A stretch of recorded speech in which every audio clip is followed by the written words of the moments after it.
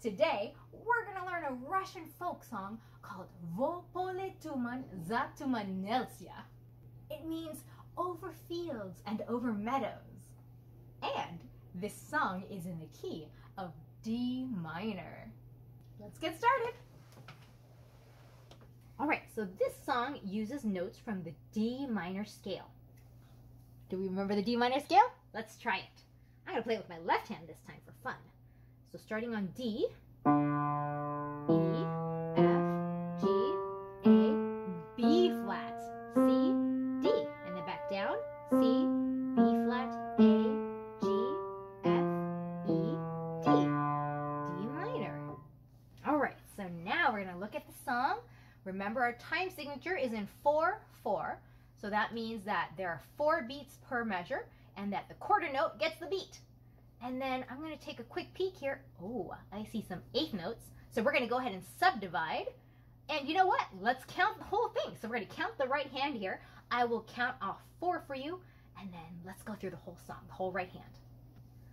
One and two and three and four one and two and three and four and one and two and three and four and one and two and three and four and one and two and three and four and one and two and three and four and one and two and three and four and one and two and three and four and one and two and three and four and one and two and three and four and one and two and three and four and one and two and three and four and one and two and three and four and one and two and three and four and one and two and three and four and one and two and three and four and one and two and three and four and one and two and three and four and one and two and three and four and one and two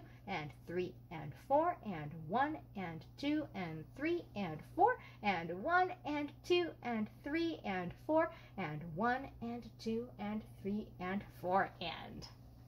All right, I'm to count it again, but this time I'll play the melody while we count, okay?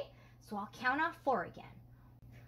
One and two and three and four and one and two and three and four and one and two and three and four and one and two and three and four and one and two and three and four and one two and three and four and one and two and three and four and one and two and three and four and one and two and three and four and one and two and three and four and one and two and three and four and one and two and three and four and one and two and three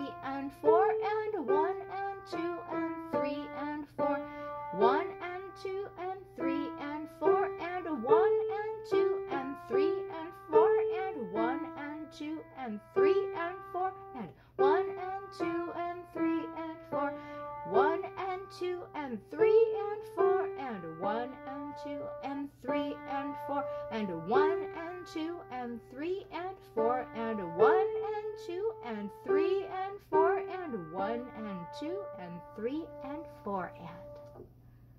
Very good. All right, so now let's count the left hand.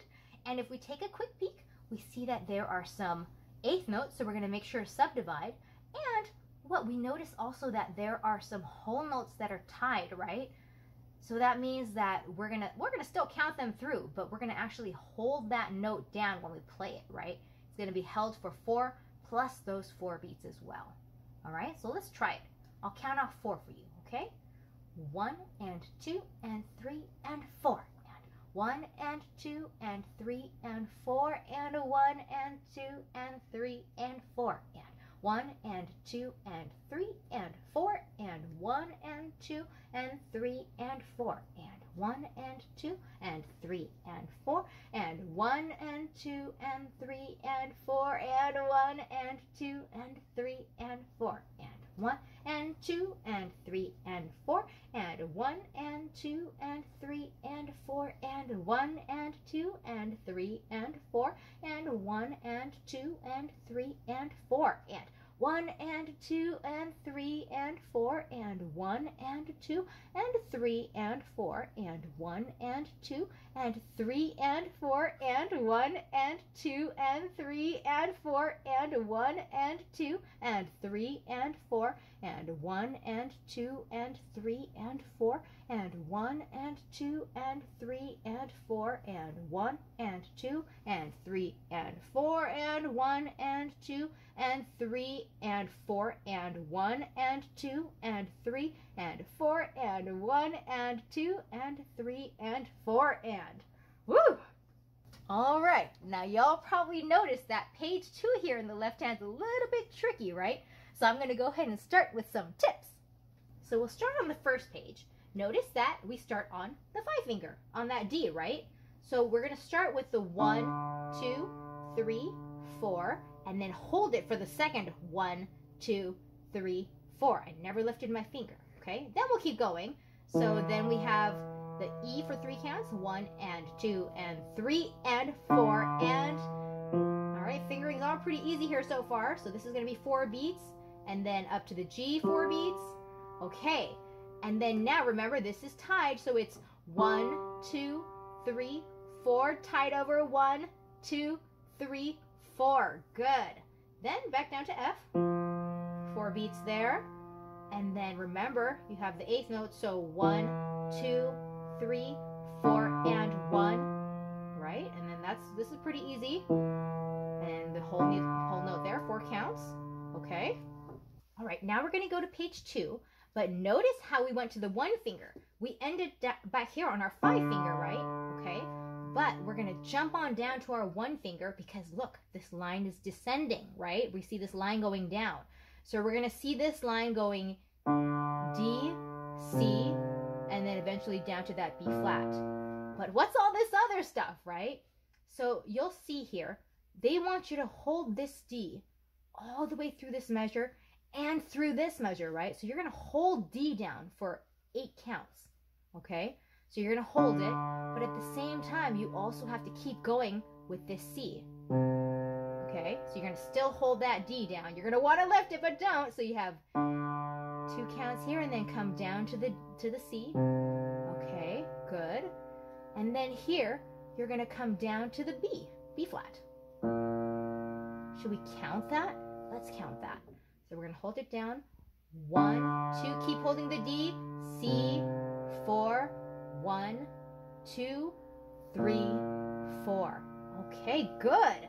Now, you're going to keep holding that B and D together, right? Until here. You're going to hold the B down, but now you're going to lift your finger and play that D again. Okay? Can we try that all together? Let's try it. I'll count one, two, three, four. One, two, three, four. One, two, three, four. One, two, three, four. One, two. Oh my gosh, that sounds so cool. Good job. All right, so we're going to continue this measure. So we ended up here, right? Okay. Now, to get here, see how it's three and five? We're going to pivot. So we have our thumb on the D right now. We're to go ahead and pivot. Oh, it's, it's to sound legato like that. We're to pivot to the three and five, okay? And then you hold that C down while you play these notes. Okay, so you see that we were here. B flat and D, pivot over to the five and three, and then hold that C down with the five finger while you play D and E. Excellent. So if we keep going now, so we're going to go from that five and three, and then holding that five finger down, Next measure is really release everything and go to F. Okay. Now, see how it's three counts, and then we're also going to have these last notes on the on beat four, right? But this is a half note. This is two beats. So you're going to play this for three beats, and on beat three, you're also going to have to play this D. So we're on the second finger for F, right? So it's one, two, three, and you're going to keep holding that F down in the meantime until beat four, you lift the F to play the E and F, right? So if it's one, two, three, four, one, two, three, four, and one, two, and then three, four, right? So here you were holding that over, that was tied over, and then you release that to go to the C. But you're still going to hold that G for the whole measure. Okay, you want to do that section again? So one, two, starting on the two finger, one, two, three, four.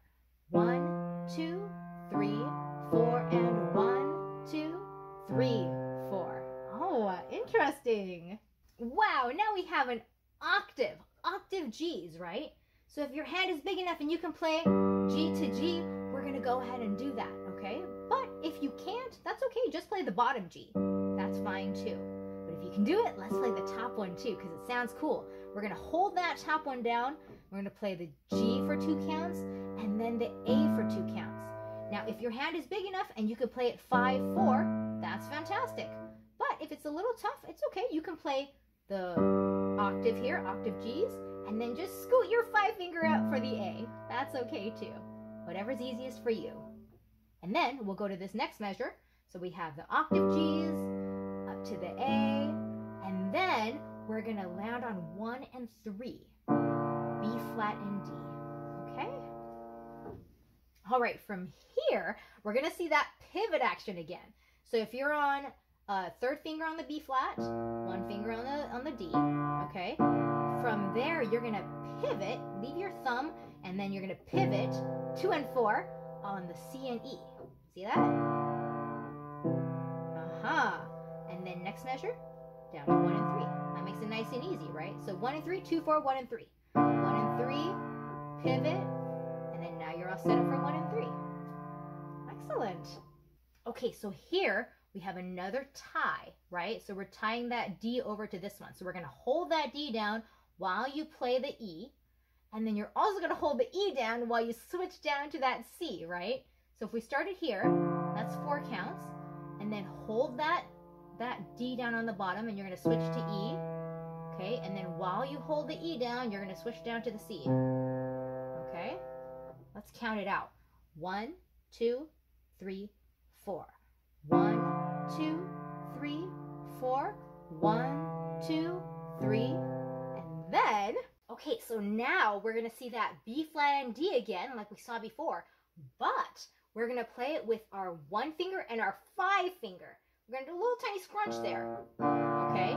And when we do the scrunch, it's because we're gonna swing that two finger over and then while you hold that down, right? So we're gonna hold down the one and five, hold the five down, and then the two finger is going to take over there. Okay, you can still hear that B flat, right? And then we're to go to F and A. See how easy that was? So you have a little scrunchy, and then hold the left, the five down while you do the two, and then open up to the F and A. So this is a really cool technique you're gonna you're gonna use a lot probably, scrunching that little one and five together, right? It's to help you play more legato and it's to help you with some of these fingerings down the line, right? So that's a fun thing to remember. So from the F and the A there, this is a half note, right? And then you have quarter notes. So you're going to hold that half note down, right? And then keep going with that B flat. Good. And then here, now you have the half note in the bottom. So it's one and three. Okay.